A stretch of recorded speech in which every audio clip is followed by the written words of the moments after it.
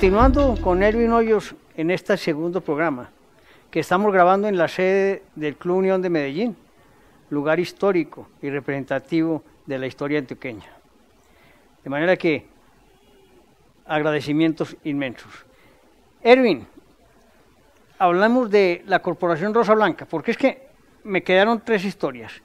Hablamos del secuestro, hablamos de los niños, hablamos de las violaciones, nos falta hablar de los asesinatos y nos falta hablar de ese gran rompimiento histórico entre el pueblo eh, rural y el pueblo urbano. Pero vámonos a la Corporación Rosa Blanca. Bueno, la Corporación Rosa Blanca nace de esta gestión que nosotros hicimos ante el Senado de la República para que los desmovilizados de las FARC, que fueron colaboradores del gobierno, de la fuerza pública, del, del ejército, de la policía, que ayudaron a lograr operaciones militares exitosas, ellos salieran en libertad, porque las FARC los querían dejar en las cárceles, los querían dejar como parte de la retaliación de haber colaborado con la justicia, los calificaron de traidores y los dejaron en las cárceles pagando las penas que ellos ordenaron, que el Timochenko y su combo ordenaron. Entonces querían que estos desmovilizados se quedaran en la cárcel. ¿Yo qué hice? Tan pronto yo detecto esto, yo fui al Senado de la República, hice una proposición, la senadora Sofía Gaviria me ayuda para hacer una proposición, vía Fast Track logramos que todos estos desmovilizados salieran en un debate en el Senado 87 votos a 4 en contra, logramos que ellos salieran. Cuando yo empiezo a hacer las entrevistas y las niñas cuentan, es que a los 11 años me reclutaron, me violaron, me hicieron tres abortos, cuatro abortos, me violaron 20, 30, 40, 60 veces. Otra dijo, yo perdí la cuenta de cuántas veces me, violaron, etc. Yo dije, aquí hay que crear una organización que represente a estas niñas. Yo les dije, niñas, organícense, ustedes tienen que constituir una organización jurídica. Y estábamos en eso cuando lanzan las FARC el logo que era la rosa roja con el mazo comunista allí. Y yo dije, rosa roja, rosa blanca. Y de una vez les creamos la corporación Rosa Blanca y se convierte la corporación en ese símbolo de denuncia. Ellos nunca se imaginaron que las mujeres iban a salir con ese carácter a contar algo tan íntimo, algo que, que iba hasta con su propia identidad y personalidad y salir a decir que ellas habían sido eh, eh, sometidas a esos vejámenes. Ellos no se imaginaron eso. Ellos no se imaginaron que ese secreto iba a salir de la selva. Ellos se imaginaron que eso iba a quedar allá guardado eh, en, los, en, los, en las raíces de los árboles. Estas mujeres tuvieron el carácter de venir a contar ese horror, estremecieron al país y a las FARC se le desmitificó la rosa roja que hoy queda siendo el símbolo de la sangre, del dolor, de la tortura de miles de colombianos que asesinaron. Y estas niñas se han empoderado de esa bandera y son las que van a llevar a las FARC a la Corte Penal Internacional. Qué historia, hombre, Erwin. Se da el proceso de paz. Demos un salto, ¿no? Se negocian cuatro años. Intervienen pues Timochenko, Márquez, eh, Santrich, hoy tres de ellos fugados y el Paisa, tres ya en fuga. Se logra el acuerdo con un plebiscito que no gustó, ¿cierto? Bueno, este plebiscito, eh, el país, la sociedad lo rechazó, ganó el no y se lo pasaron por la faja. Santos lo único que le interesaba era ganarse su Nobel, las FARC lo único que le interesaba era cerrar un negocio en donde también incluyeron a los narcotraficantes y le vendieron cupos en la JEP a narcotraficantes, en donde les cobraron entre 1, 3 y 6 millones de dólares por incluirlos allí. ¿Por qué? Porque la JEP en los acuerdos tiene un concepto garantista para los desmovilizados de las FARC y es garantizarles la no extradición. Como eso quedó condensado en los acuerdos, al garantizar la no extradición, entonces ellos empezaron a vender cupos para meter ahí narcos que nunca fueron guerrilleros, que no han cogido un fusil, que no saben marchar, que no saben el himno de las FARC, que no saben nada de milicia, les cobraban entre 1 y 6 millones de dólares y los metieron allí, pasaron a estos narcotraficantes como guerrilleros, engañaron a la oficina del alto comisionado o se confabularon, eso está por demostrarse en las investigaciones, pero fue mucho el dinero que se movió. Luego en las cárceles empezaron a crear equipos jurídicos, asesores de las FARC y de los narcos, para hacer articulejos, como lo llamó el fiscal, articulejos que les facilitara ingresar a otros narcos a la JEP.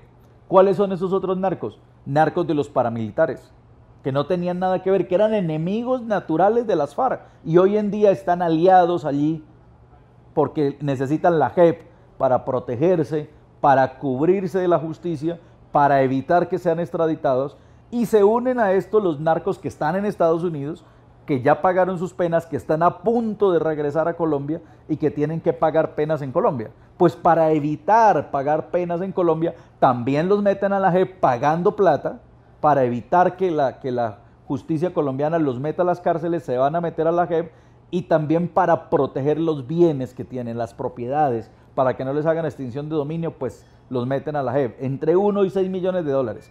Todo esto lo conocimos nosotros por dentro y esto fue lo que nos sirvió para tener el argumento suficiente de decir aquí hay que cortar esta corrupción en las altas cortes, en la justicia y en la JEP de tajo.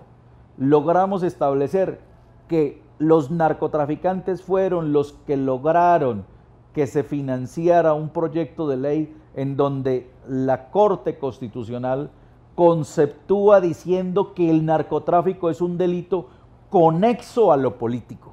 Imagínense eso, el narcotráfico conexo a lo político. ¿Qué están diciendo aquí la Corte?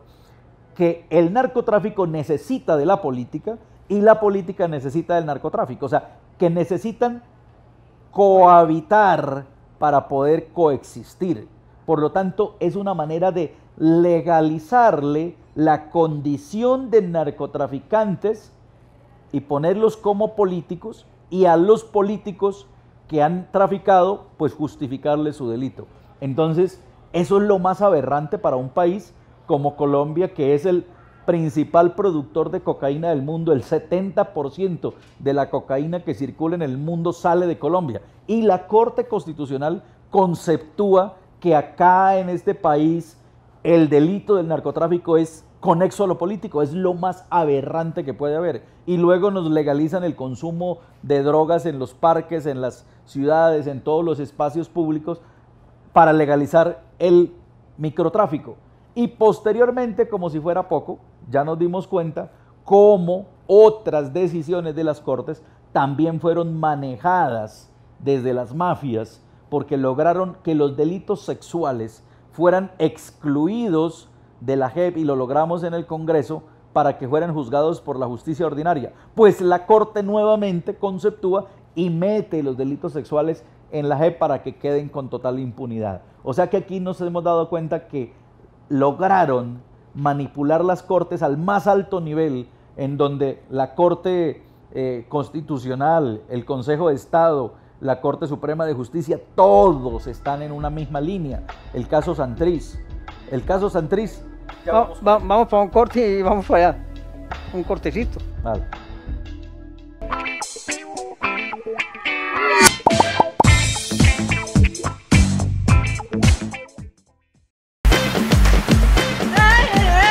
Electrópica.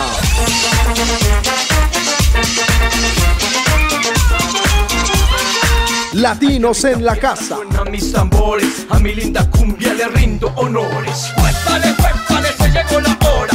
Y todo mundo a mover la cola. Los Cumbia Stars. solo quieres ya ponerte a beber. Y es Discos Fuentes.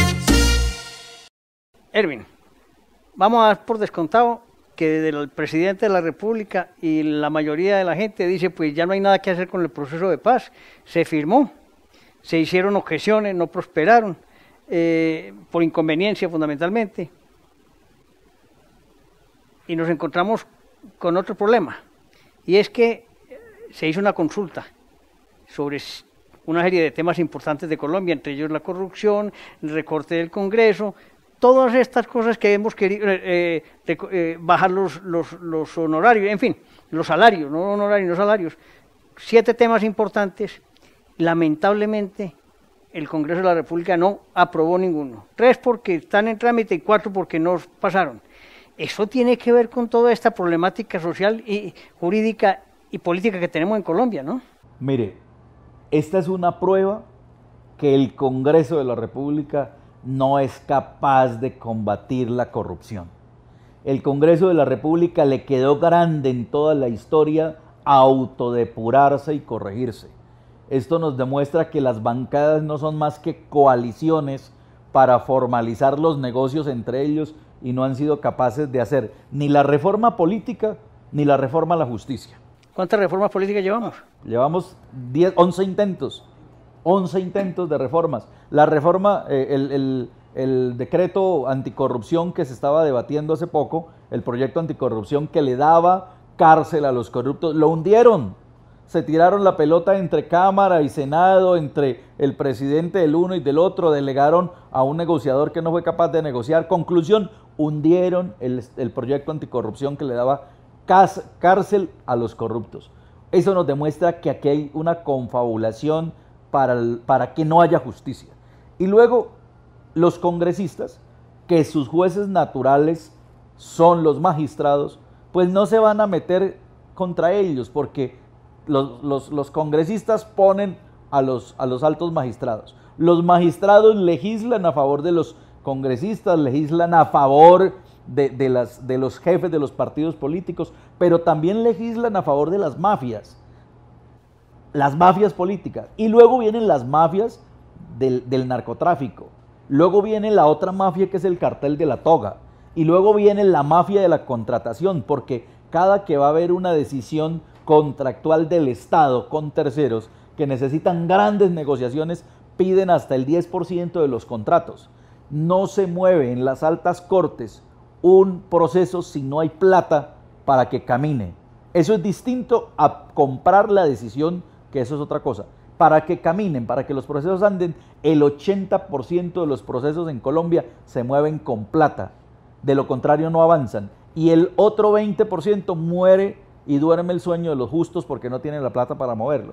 Desde ese nivel de corrupción son las altas cortes. De ese nivel de corrupción llegaron a meternos conceptos con los que trancaron la extradición de narcotraficantes, con los que frenaron procesos que eran determinantes para el país, para la nación, con los que incluso han hecho ellos mismos condenar a la nación. Casos, por ejemplo, como, como, el, de, como el de Machuca, ¿sí?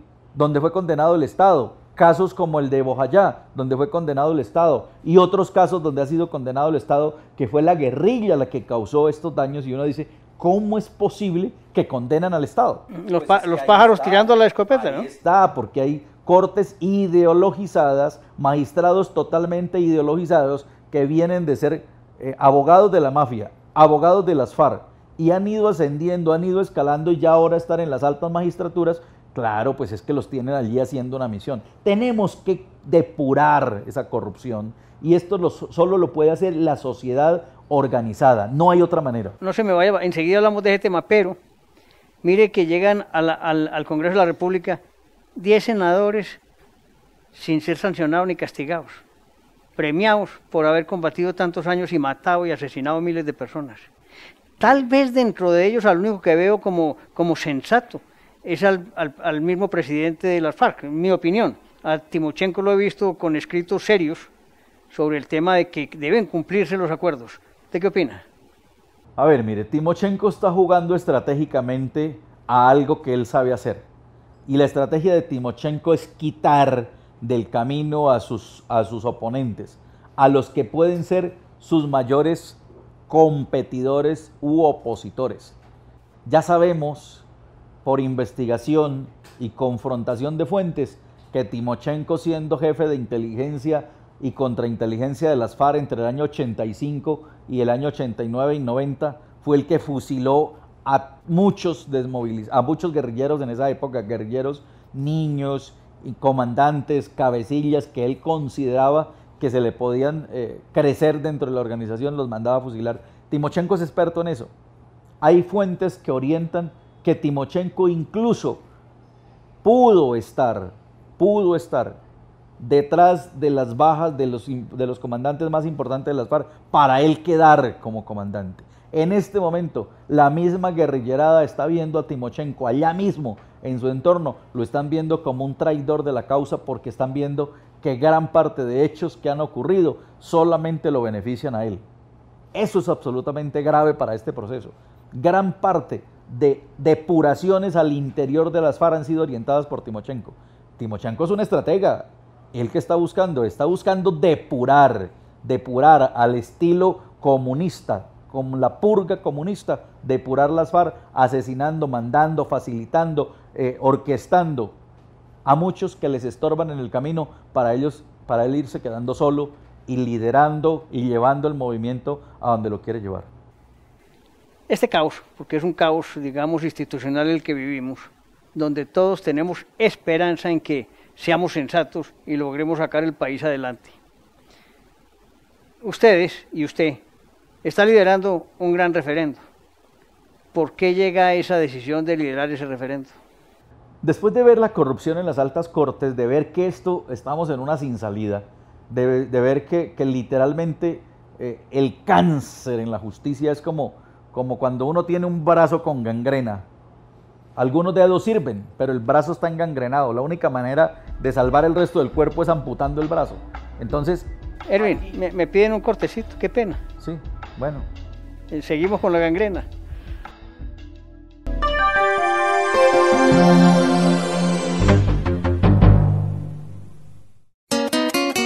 Discos Fuentes presenta Íntimo, siente el vallenato. Disfruta el vallenato con un estilo diferente. Dubán Bayona, Eric Escobar, Luis Miguel Fuentes. Que solo hay un Íntimo, memoria de 8 gigas, video más audio. cuanto sueño tener un amor. Íntimo, siente el vallenato. Oh, Cómpralo ya, disponible en plataformas digitales. Discos Fuentes. Erwin, continuemos con la gangrena.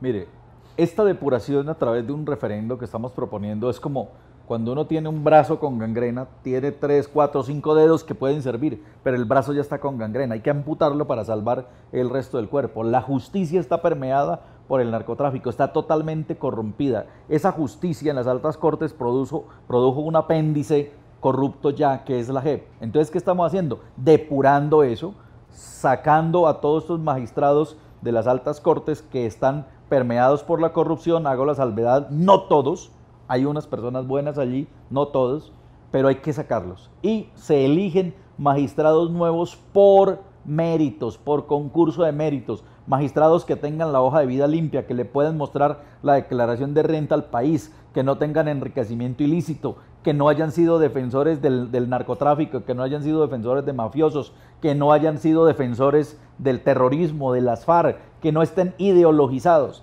magistrados que tengan realmente el honor de ser magistrados en este país. Ellos tienen que ser elegidos por méritos y con esos magistrados se crea la sala que va a reemplazar a la JEP. No estamos tocando el articulado de la JEP. Estamos es, cambiando los administradores del edificio para que entren administradores nuevos y que hagan cumplir el reglamento del edificio como está estipulado. No estamos tocando el, reglamento del edificio, no estamos tocando las normas que deben aplicar la JEP. Estamos cambiando el administrador de la justicia transicional que pasa de ser ese macro, ese macro ministerio que crearon que es un costo muy alto para el país y lo reemplazamos por una sala que siga administrando, que le dé garantías a los desmovilizados, que les cumpla a los desmovilizados lo que se les prometió. Aquí los únicos que deben tener temor son los que utilizaron el acuerdo para seguir delinquiendo, los que utilizaron el acuerdo para crear el delito continuado del narcotráfico, los que utilizaron el acuerdo para meter bandidos narcotraficantes y hacerlos pasar por guerrilleros. Esos son los que tienen que tener temor. De lo contrario, si el mismo Timochenko ha cumplido y no ha vuelto a delinquir, yo soy el primero en defenderlo, porque hay que cumplirles a los que han sido leales con el acuerdo. La otra pregunta de ese referendo es sobre el Congreso.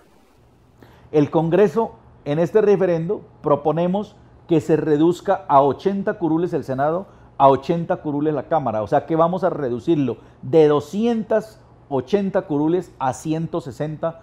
O sea que aquí tenemos la verdadera reforma al Congreso que proponían por allí cierto sector, dice que bajarle el sueldo a los congresistas, e hicieron fue una consulta, eso no servía de nada. Allí tendrían que hacer era algo como lo que estamos haciendo nosotros que da mandato, da mandato. Un referendo es un mandato ciudadano que lo tienen que cumplir y por eso tenemos que todos, todos sumarnos a este referendo porque necesitamos 11 millones de firmas. No es fácil. Esto es un casi imposible, pero lo vamos a hacer casi posible. Nunca nada es imposible. Los imposibles no existen. No existen. Solo están en la mente de los incapaces. Aprovecho aquí que habla usted de, de- de- de participación. Una pregunta que tengo del coronel John Marulanda, el columnista que nos acompaña aquí en el SED, que quiere hacerle una pregunta. Gracias, Antonio. Esta pregunta desde el bloque de la Reserva Activa de Antioquia, Brandt, para Ervin.